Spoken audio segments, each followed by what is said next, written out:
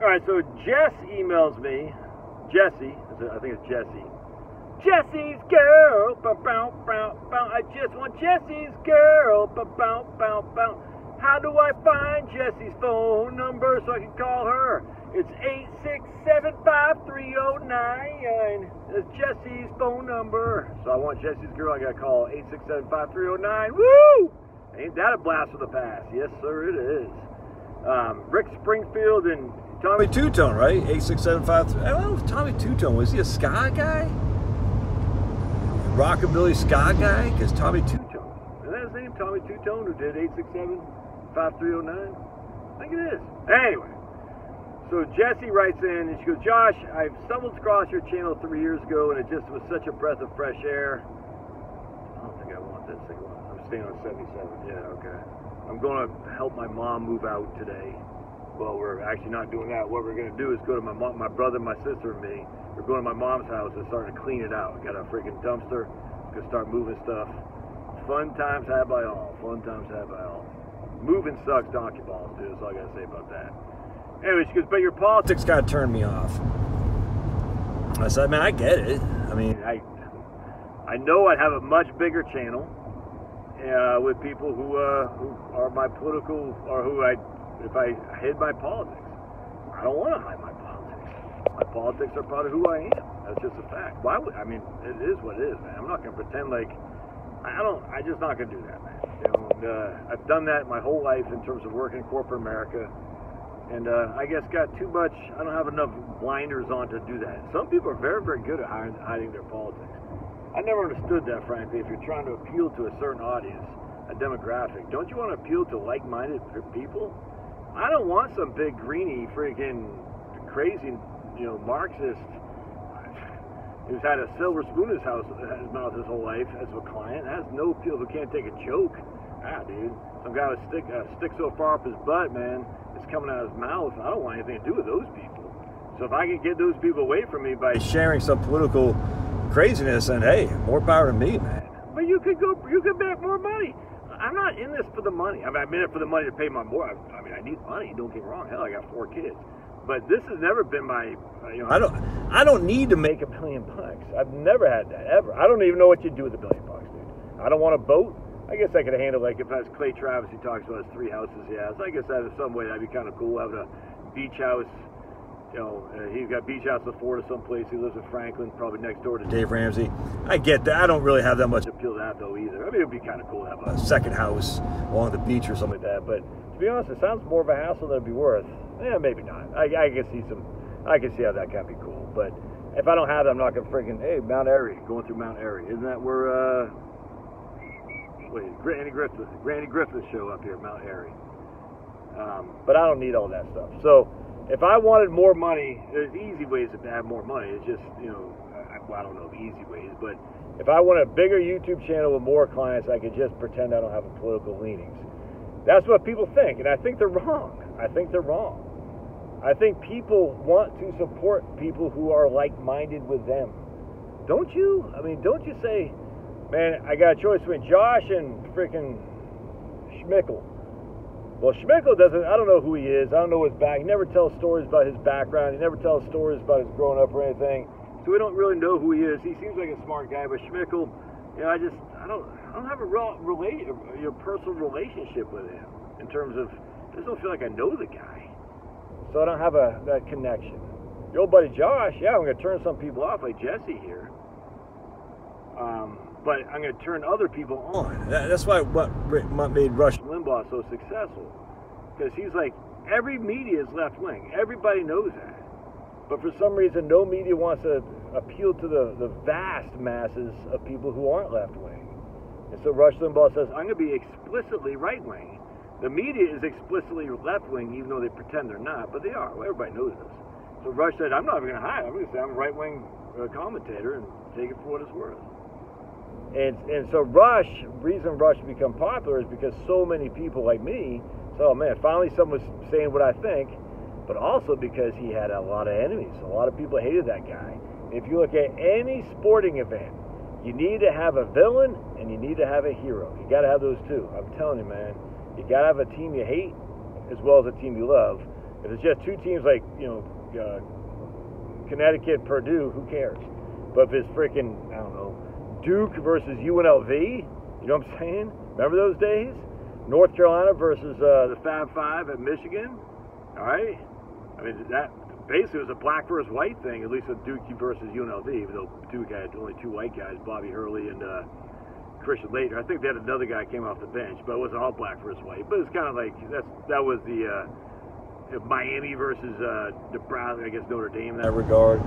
Is uh, I mean that stuff. It gets, you know, a, a villain and a hero, and whatever side you're on, the other side's gonna be the villain inherently.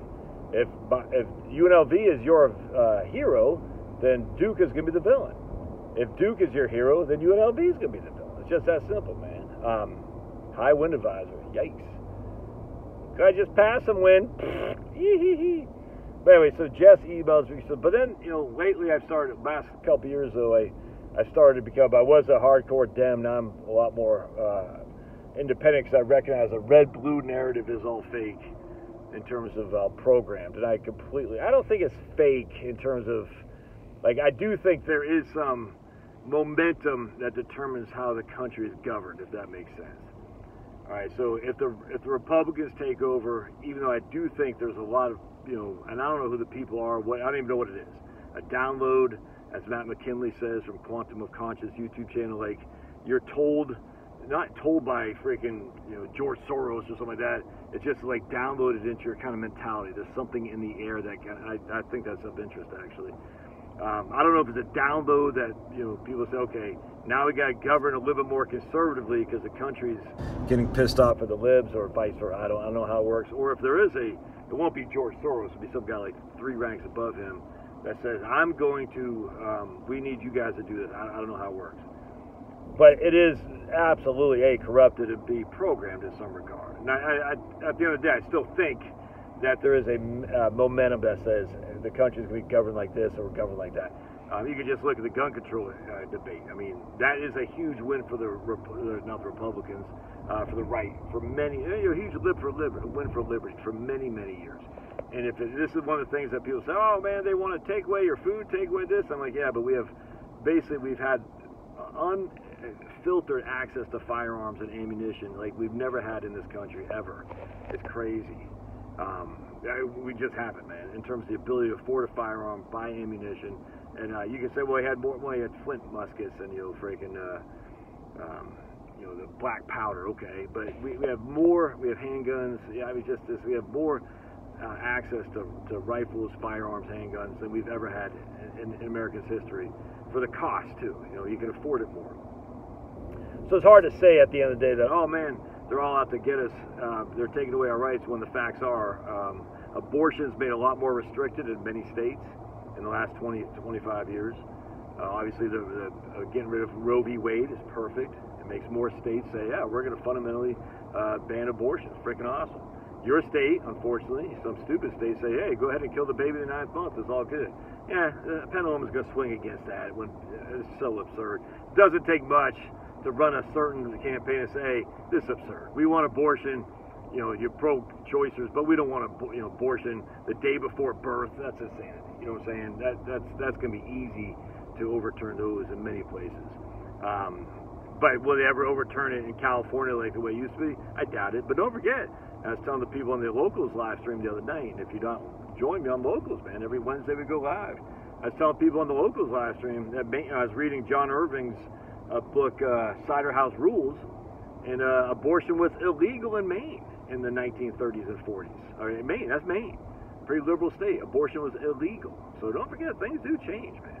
So just because it's legal now, um, I don't even think Janet Mills signed the law. I, don't think they took it up where they said, hey, uh, we're going to sign the law that makes abortion the nine month legal. I don't even think the Mainers had the guts to do that. I might be. I don't think I am wrong. I think I'm right though. I think I saw that in the the, uh, the Maine Policy Institute web, website. I think uh, I think they did not pursue abortion, unlimited abortion, until the ninth month, which because that's just freaking evil. But you know you got to freaking uh, you got to hold evil accountable, and you know but it takes time. Anyway, so with Jess here or Jesse, she says. You know, uh, call her eight six seven five three zero nine. But she also says, yeah, I've lately, you know, lately, be the last year or so, I've come to realize the red blue divide is just one big old psyop, essentially. She didn't say that, but it is, man.